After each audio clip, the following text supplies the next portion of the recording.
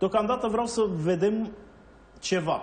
Și anume, cum a reușit Băsescu Traian să-și astupe, să pună capace pe traseul său, astfel încât urmele din dosarul flota să nu mai fie găsite de nimeni. Sigur, pe apă e greu să lași urme, dar totuși ele rămân. Ei bine, niște personaje foarte importante în aceste investigații au avut o soartă destul de vitregă. Haideți să luăm niște exemple. De pildă, procurorii. Procurorii care au instrumentat dosarul flota au pățit-o. Ei au făcut cercetarea și au întocmit chiar și rechizitoriul.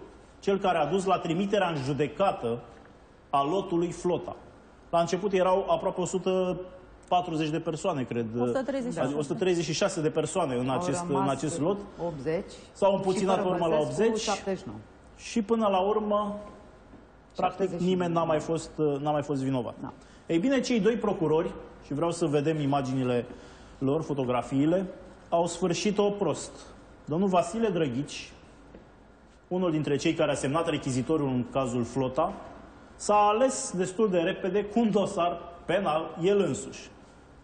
Într-o speță care privea favorizarea infractorului, un șef de poliție din uh, Inspectoratul Județean uh, uh, Constanța, cred.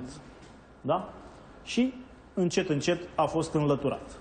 Celălalt procuror care a semnat rechizitoriul din cazul Flota a avut o soartă și mai tragică. A fost găsit mort în propria sa locuință. Este vorba de procurorul Ioan Oțel.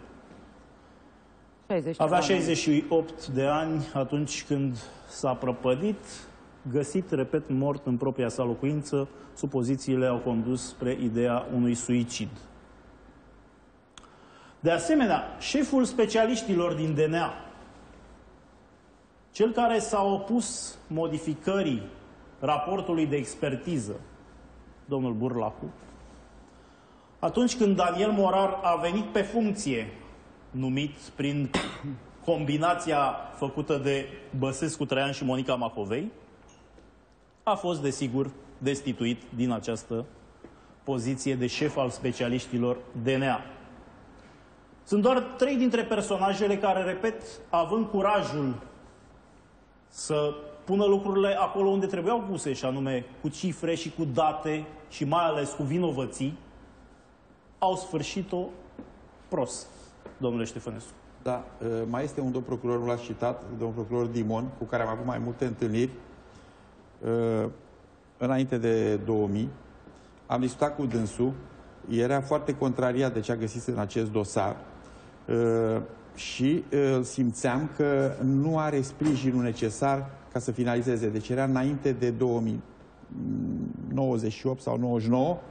Uh, În final omul a clacat și s-a retras din uh, DNA sau cum îi spunea atunci. PNA. Nu, că PNA. PNA-ul s-a format Da. mai târziu. Deci s-a în, retras uh, uh, 2002. la Craiova din nou.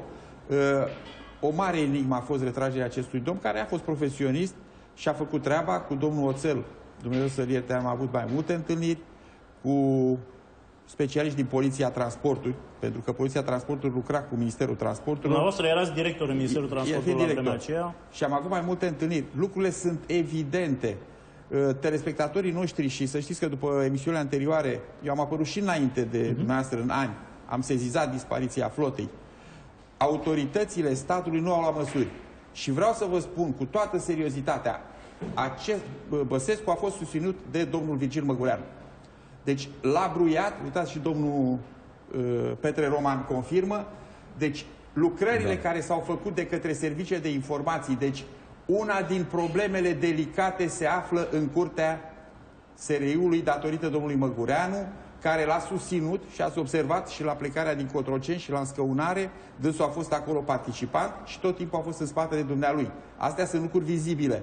Dar în spate, dânsul a sabotat munca subordonaților Eu săi. cred că a fost o mare rețea cea care A fost o l-a sabotare. sprijinit pe